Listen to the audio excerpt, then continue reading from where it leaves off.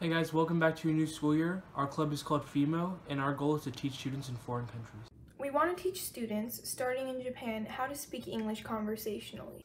Right now, we're already partnered with Hiroshima Onomichi High School, Kyoto Gaidai High School, Hyogo Oda High School, Hosei University, and Hiroshima University, which are all very popular schools in Japan.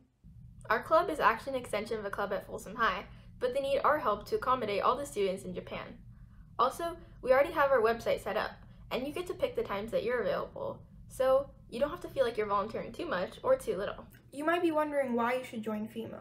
Well, you get to learn more about Japanese culture and you get to talk to people that are your age and older.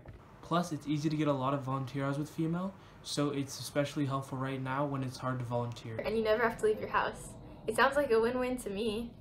Join our Remind and follow our FEMO Instagram so you won't miss out on any updates. Our first meeting will be October 7th in Miss Valencia's Flex Time, so see you there!